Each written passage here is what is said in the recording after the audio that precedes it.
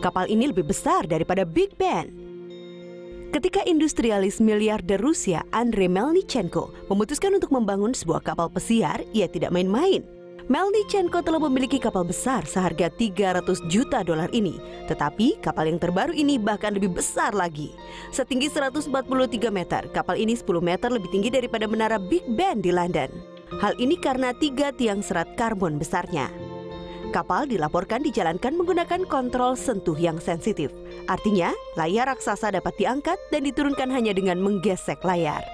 Kapal pesiar ini dilaporkan akan mampu melaju sekitar 16 knot atau kira-kira 30 km per jam. Kapal pesiar kemungkinan akan diawaki oleh 54 kru dan memiliki ruangan untuk 20 tamu. Kapal juga akan memiliki 8 lantai, sebuah helipad dan kolam renang. Kapal telah terlihat berlayar di Gibraltar dan Monaco.